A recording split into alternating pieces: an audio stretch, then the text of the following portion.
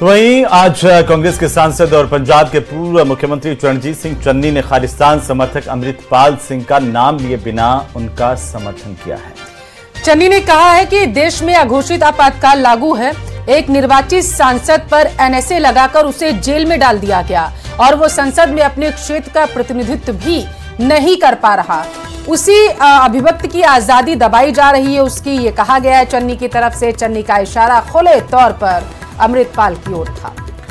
वही अमृतपाल जो कि खालिस्तान का समर्थक है और पंजाब को भारत से तोड़ने की भारत के टुकड़े टुकड़े करने की बातें कर चुका है। इसे लेकर के चरणजीत सिंह चन्नी का ये बयान सदन में दिया गया है। 20 लाख लोगों द्वारा पंजाब में मेंबर पार्लियामेंट चुना गया और वो एनएस से लगाकर अंदर रखा हुआ है। फ्रीडम ऑफ़ स्पीच उसकी कंस्टिट्यूएंसी के लोगों की बात यहाँ नहीं रख पा रहे।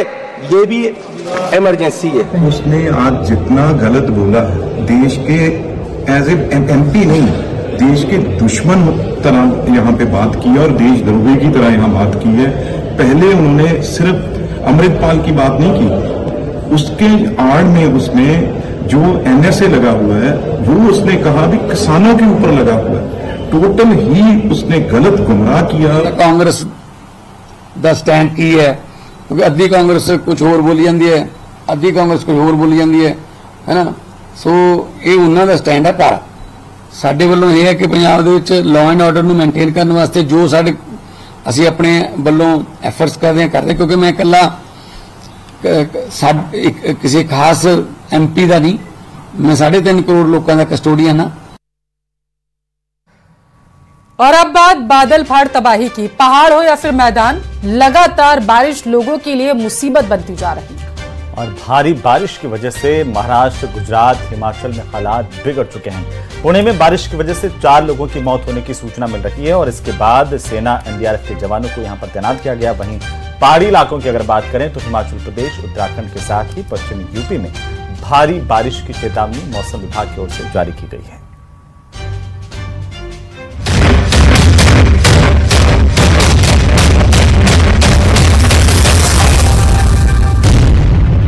पहाड़ से मैदान तक आसमानी आफत।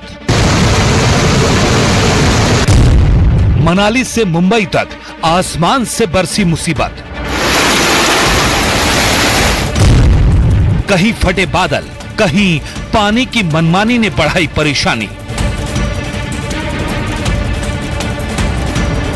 मॉनसून जैसे जैसे आगे बढ़ रहा है, लोगों के लिए मुश्किलें भी बढ़ती जा रही हैं।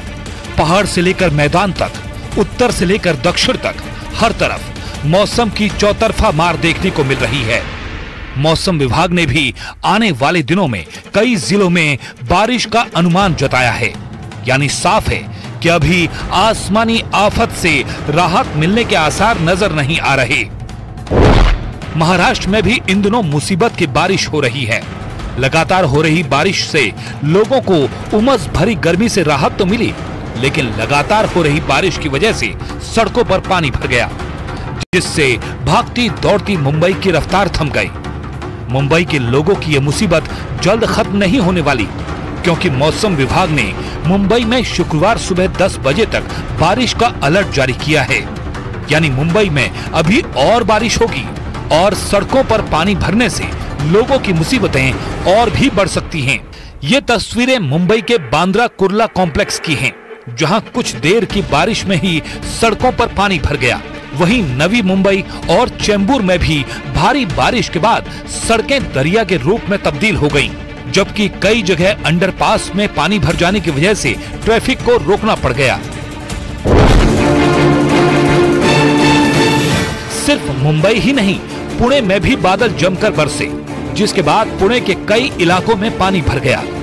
पुणे के सिंहगढ़ इलाके में इतनी बारिश हुई कि सड़कों पर घुटनों तक पानी भर गया पानी में डूबने की वजह से कई गाड़ियाँ बंद हो गईं। वहीं दूसरी तरफ़ रिहायशी इलाकों में भी कमर तक पानी भर गया वहाँ पार्किंग में खड़ी गाड़ियाँ भी पानी में डूब गईं। मौके पर पहुँची एनडीआरएफ की टीम ने फंसे लोगों का रेस्क्यू किया और नाव की मदद से लोगों को सुरक्षित जगह पहुँचाया गया वहीं भारी बारिश के बाद पुणे के विठल मंदिर के चारों तरफ़ पानी भर गया। मंदिर का गेट पूरी तरह से पानी में डूब गया। एक शोरूम में भी बारिश के पानी ने जमकर कहर मचाया। भारी बारिश के बाद शोरूम में घुटनों तक पानी भर गया और वहाँ रखा सारा सामान पानी में भीगकर खराब हो गया।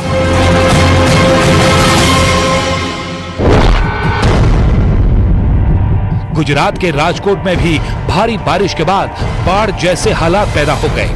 वहाँ कई रिहायशी इलाकों में पानी भर गया। मंदिर, मकान और दुकान पानी में डूब गए। हालात को देखते हुए प्रशासन ने लोगों से सुरक्षित जगह पर रहने की अपील की है।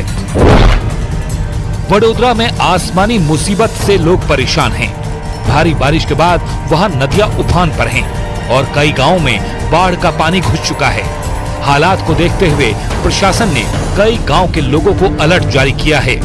बारिश और बाढ़ की वजह से सड़क और खेत सब पानी में डूब गए, जिसकी वजह से कई गाँव का संपर्क भी टूट गया। सबसे बड़ी समस्या शहरों में हो रहे जल भराव की वजह से देखने को मिल रही है। वडोदरा में कई घंटे की बारिश ने पूरे शहर को पानी पानी कर दिया। चाहे वडोदरा का सयाजीगंज इलाका हो या फिर करजन गाँव कुछ घंटों की बारिश में पूरा जिला टापू की तरह नज़र आने लगा। भरूच में तो बारिश से इससे भी बुरे हालात देखने को मिले। भीषण बारिश के बाद सूरत से अलंकेश्वर जाने वाला हाईवे पूरी तरह बाढ़ के पानी की चपेट में आ गया। हालात इतने बदतर हो गए कि लोग जान जोखिम में डालकर तेज बहाव को पार करते दिखाई दिए। भारी बारिश की वजह से हाईवे पर इतना पानी भर गया कि सड़क को देख पाना मुश्किल हो गया। तस्वीरों को देखकर ऐसा लगा मानो गाड़ियाँ नदी के बीच चल रही हों। सूरत में भी जलभराव की स्थिति ने लोगों की मुश्किलें बढ़ा दी। बालेश्वर गाँव में भी हर तरफ़ पानी जमा हो गया। सड़कें, घर और गलियाँ सब पानी में डूब गए। ऐसे ही हालात चिखली गाँव में भी दिखाई दिए। पहाड़ों पर कुदरत की चौतरफा मार पड़ रही है। वहाँ बारिश, बाढ़ और लैंडस्लाइड के साथ साथ उफनती नदियाँ लोगों को डरा रही हैं। उत्तरकाशी में इन दिनों नदी नाले लोगों को डरा रहे हैं। हालात ये हैं कि लोगों को कहीं जाने के लिए इन नदियों को पार करना पड़ता है। बच्चे भी जान जोखिम में डालकर स्कूल जाने को मजबूर हैं, क्योंकि इसके अलावा उनके पास कोई दूसरा रास्ता नहीं है। ऐसे में थोड़ी भी लापरवाही इन लोगों पर भारी पड़ सकती है। हिमाचल प्रदेश के मनाली में आसमान से आई मुसीबत ने जमकर कहर बरपाया वहाँ बादल फटने से बाढ़ आ गई, जिसके बाद उस इलाके में हर तरफ़ तबाही की तस्वीरें सामने आई। अचानक आए सैलाब की वजह से कई रास्ते बह गए तो कई घरों को भी नुकसान पहुँचा। फ़िलहाल पूरे देश में बारिश का दौर जारी है और जगह जगह से बारिश और बाढ़ की तस्वीरें सामने आ रही हैं। ऐसे में हम सबको खराब मौसम में सजग और सतर्क रहने की ज़रूरत है।